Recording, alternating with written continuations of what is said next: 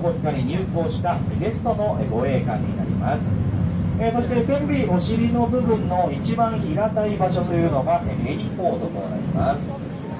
そして奥の方までつながっている場所がヘリコプターの機関とえー畳むことが可能なんですね、えーそのためあのように限られたスペースでもうまく収納することができると、えーそういった作りとなっておりますえまた護衛艦、え国を守るための船ですので、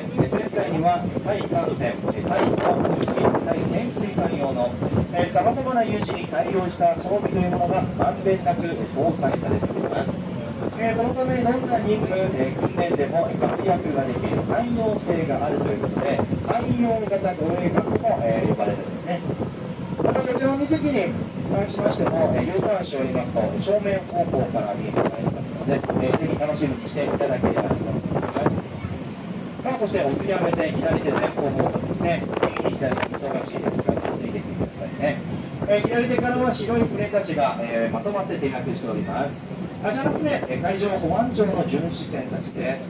えー実はここ長浦港を利用しているのがえー海上自由区で全体像をお取りいただきますとえ非常にかっこいい一枚になるかと思いますので、えーご興味ある方は、えーぜひチャレンジしてみてくださいね。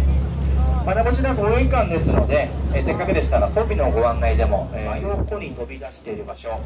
見つけられましたか107番の右上ですよ。